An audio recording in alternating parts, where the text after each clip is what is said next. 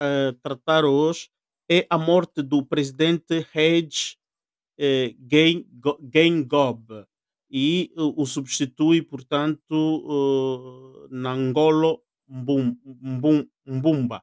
É, o, o, o ex-presidente Hage, eh, ele já andava muito doente porque via ser um homem eh, de grande compostura, eh, físico forte, fazia caminhadas com a esposa, a ar aberto, falando com os cidadãos e eh, finalmente, eh, portanto, terminou, eh, acabou de nos deixar.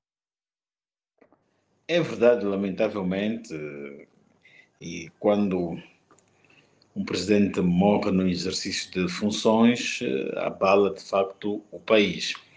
E a Constituição da Namíbia é clara: o presidente, diante de uma fatalidade, assume o vice-presidente, assume o vice-presidente, toma posse, faz juramento e mantém-se no cargo. Só que este vice-presidente, antigo vice-presidente, agora presidente, o Nangola, ele, ele tomou uma decisão de não concorrer, porque a Namíbia vai ter eleições este ano. Ao não concorrer, é capaz de entrar em campo uh, uma senhora que é, que é nesse momento a vice-presidente do Ruanda, do, do, da Namíbia. Quer dizer que a, a Namíbia é, se as coisas forem como são ou como forem, foram travadas, traçadas, ela poderá ter uma presidente mulher pela primeira vez, que é uma, que é uma senhora, chama-se uh, uh, Nandi. Tanto há esse cenário e provou, pelo menos aqui a Namíbia, que é um país estável, né?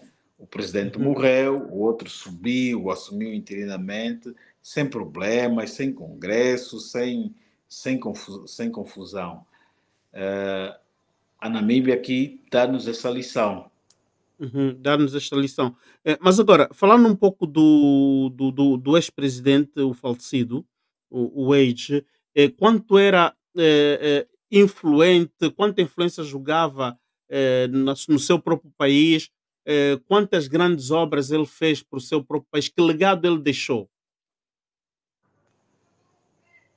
Bom, é, ele foi um indivíduo que participou na feitura da Constituição da Namíbia. É tido também como um dos pais.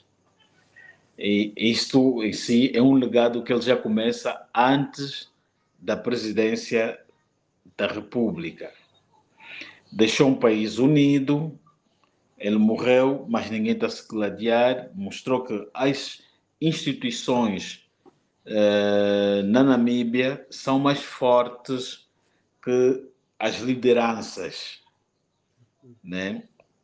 Uh, a Namíbia pode ir para um pode escolher uma mulher presidente e aquilo ocorrer na maior das uh, das tranquilas